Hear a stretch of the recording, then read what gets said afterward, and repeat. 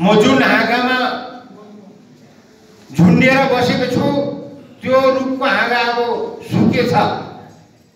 त्यो मकिएर गएछ अब। म त्यही हाँगामा पक्रिबस्यो भने कुन दिन म तल त्यो हाँगा झरेर म तल जमिनमा पछारिन्छु भने जब हामीलाई अनुभव भयो अनुभूति भयो तब हामीले हाम्रो बी प्लान सुरु गऱ्यौँ अब हामीले बिजेपीको भर लागेर हुँदैन तर बिजेपीको हात छोडेर चाहिँ हामी कहाँ जाने त? कसको हात पक्रिने?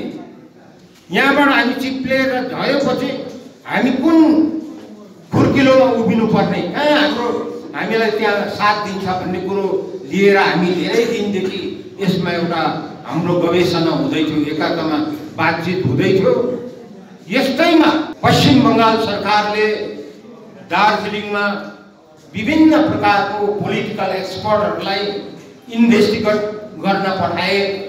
दार्जिलिङमा के गर्दा कसलाई पक्रिँदा चाहिँ पोलिटिक्स राम्रो गर्न सकिन्छ? खै त अनिता र विनितालाई त करोड करोड रुपियाँ दिँदा पनि यिनीहरूले एउटा सिट पनि जित्न सकेको छैन।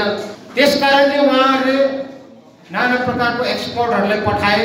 नाना प्रकारका राजनीतिविदहरूलाई दार्जिलिङको कुना कानी चिया बगानतिर सहर बजारतिर इन्क्वायरीमा पठाए रिसर्च गर्न पठाए।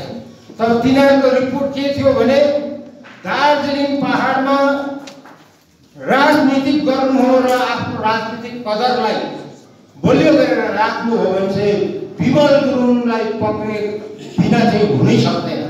कुनै पनि नेताले राजनीतिक हाम्रो राजनीतिकलाई दिगो गरेर बढाएर लानु सक्दैन।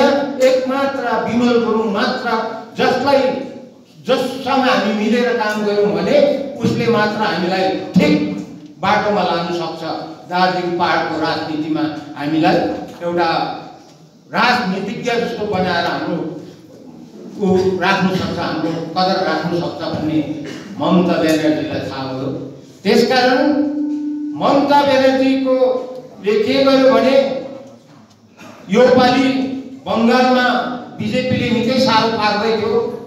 योपालि बङ्गालमा बिजेपी आउँछ भन्ने एक प्रकारको हो हल्ला पनि हुँदै थियो अनि टिएमसीलाई पनि कता कता डर पसिसकेको थियो कि बिजेपीले साँच्ची नै हामीलाई योपालि बङ्गालमा बिजेपी पो इन्ट्री गर्छ कि भन्ने। त्यस उसले गर्दामा टिएमसीको तर्फबाट हामीलाई एउटा एउटा उहाँहरूले एउटा के गर्यो भने एउटा अप्सन दिनु दिनुभयो कि तपाईँ हामी मिलेर यो उत्तर बङ्गालको पन् चौध पन्ध्रवटा जो ए एमएलए सिटहरू छ त्यसमा चाहिँ हामी गठबन्धन भएर लडौँ। अब हामीले झगडा गरेर होइन एकअर्कामा मेलमिलाप गरेर झगडा नगरिकन हामी गठबन्धन गरेर हामी लड्नुपर्छ। बिजेपीलाई त्यहाँ पस्नु दिनु हुँदैन भन्ने उहाँहरूले एउटा अप्सन दिनुभयो। अब विचार गर्नुहोस् हामी त रोगी हामीलाई रोग लागेको छ। हाम्रो कतिजना दाजुभाइहरू जेलमा सडिरहेको छन्। तिन तिन वर्षसम्म आज तिनीहरू जेलमा सडिरहेको छ। टिएमसीले बनाएको दबाई खाँदै मेरो रोग जाति हुन्छ भने हामी त्यो दबाई खानुपर्छ। खाएन भने त्यो चाहिँ बडो ठुलो मूर्खता हुन्छ। फेरि हाम्रो यो विस्थापित जीवन बिताइरहने कति कति दिनसम्म बिताउने?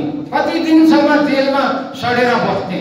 यिनीहरूको उद्धारको निम्ति यिनीहरूलाई उद्धार गराउनको निम्ति त हामीले यो अफर चाहिँ हामीले मान्नुपर्छ। विशेष गरेर आज पोखरिङ तामाङ समष्टिको अधीनस्थ श्री नरेन्द्र छेत्रीको अध्यक्षतामा आज हामीले पोखरिङ तामाङ समष्टिले यहाँबाट झन्डा फरफराउने आज हामीले काम गरेछौँ र यो झन्डा लगाएर हामी सिधा इन्डोर मिटिङ हाम्रो यो कर्मी एउटा सभा छ र हामी त्यहाँ कर्मी सभामा जानेछौँ। र विशेष आजको सभामा हामीले अध्यक्षलाई पोखरिङ तामाङ समष्टिले एकदमै भव्य रूपमा स्वागत गर्ने हामीले सोच राखेका छौँ र आजको जुन चाहिँ यो जनबेला छ यो जनबेला सिधा हामी कम्युनिटी हलमा गएर हामी एउटा इन्डोर मिटिङको सभामा हामी परिणत गर्नेछौँ।